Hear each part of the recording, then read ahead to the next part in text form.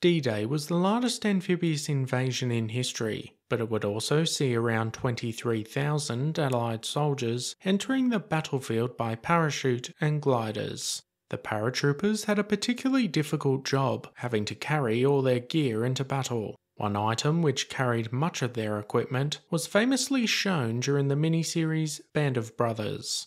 The leg bag, a British invention, was used by some of the US paratroopers, who had very mixed results with this piece of kit. In today's video we ask, was the D-Day leg bag any good? If you enjoy this video and want to see more, hit that subscribe button. It's free and really helps the channel reach more history lovers like you. The early British paratrooper operations were similar in nature to the Germans. The soldiers' equipment and small arms would be dropped out of the aircraft in canisters, and the soldiers themselves jumping with very little gear attached. Once on the ground, they needed to find these canisters quickly to retrieve their weapons and fight the enemy. During some of these operations, canisters failed to be dropped from the aircraft or even located on the ground. This caused a rethink. By 1943, the idea of a soldier jumping with all their equipment and weapons came to life. A new creation known as a leg bag would hold much of the troops' heaviest equipment. This kit bag was made of reinforced canvas and could supposedly hold up to 50 kilograms or 110 pounds of equipment. It had a small cutout at the bottom to fit snugly over the wearer's boot. Two canvas straps were secured, one under the knee and one above the ankle. These straps were attached by quick release buckles, with the soldier having the ability to release the bag from his leg. The bag had around 20 feet of rope attached to the parachute harness. Once the soldier jumped from his plane, he could undo the straps and the bag would fall below him. The bag would then act like a pendulum, and once it hit the ground first, it would allow for a softer landing.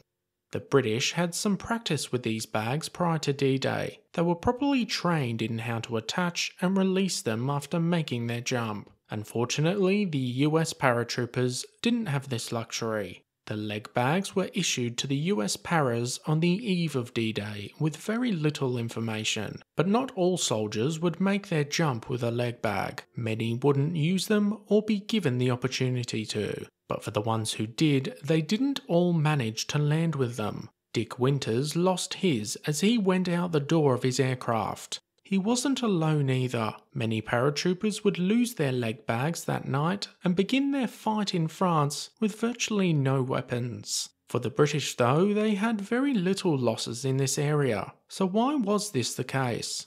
There are four main reasons why US paratroopers seem to lose their leg bags more than their British counterparts. Firstly, as mentioned before, the US troops were not properly trained in their use. They were issued these bags not long before their jump on D Day, and therefore didn't have any practice or time to become familiar with them. This is a decent factor given some soldiers overloaded their bags with too much equipment, causing them to fail when it came to H hour. Secondly, and along the same lines, the leg bags weren't all attached correctly. Some soldiers didn't attach the quick release straps properly, or indeed the main rope itself. Through no fault of their own due to lack of information, this was another reason for losses. The third reason actually has something to do with the parachutes themselves. The British used X type parachutes, while the US were using T5 chutes at the time. You can see from this diagram the British X type deploys after the lines are fully extended. This is referred to as lines first, whereas the US chutes deployed canopy first, that being the canopy would start to come out before the lines. This meant the T5 actually gave the user a greater opening shock than the British version.